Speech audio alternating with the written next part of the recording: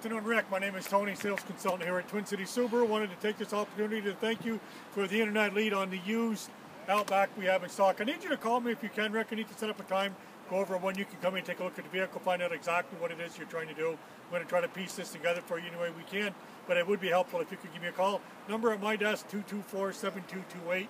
You can reach me today until 5, and I will be in tomorrow until 5 as well. Hope to speak to you soon, Rick. Thank you.